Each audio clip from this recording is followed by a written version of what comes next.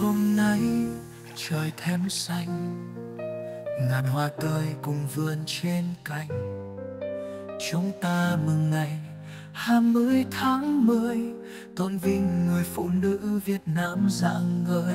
Chỉ là đóa hoa trong đời là nắng mai ấm trái tim người.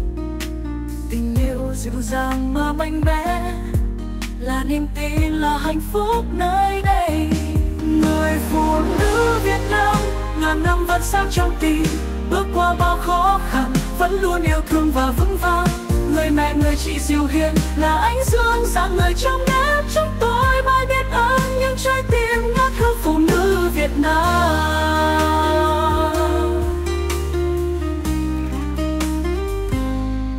Qua bao gian nan, bao đau thương, người phụ nữ vững như tường thành, hy sinh lòng thầm mà cao cả nuôi dưỡng đời ta bằng bao khát khao. Mỗi bước chân em đi hôm nay mang theo tình yêu ngập tràn nơi đây.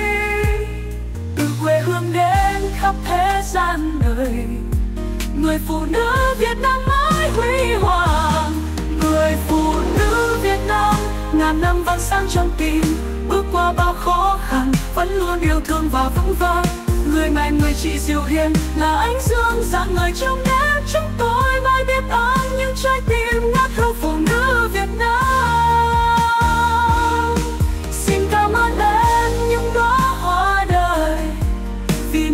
người em chớ dạng ngời ngày mai trời sẽ mãi sáng. có em trong tim ta thêm vững bước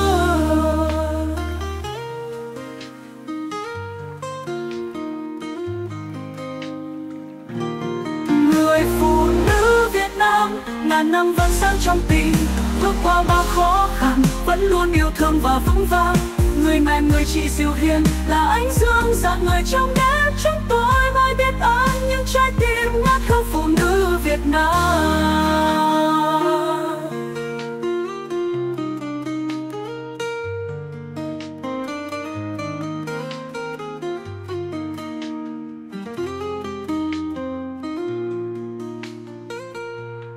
Qua bao gian nan, bao đau thương, người phụ nữ vẫn như thường thanh hy sinh lặng thầm mà cao cả. Nuôi dưỡng đời ta bằng bao khát khao, mỗi bước chân em đi hôm nay mang theo tình yêu ngập tràn nơi đây. Ngữ quê hương Việt Nam. Vẫn sang trong tim, ngữ cơ khó khăn, vẫn luôn yêu thương và vững vàng.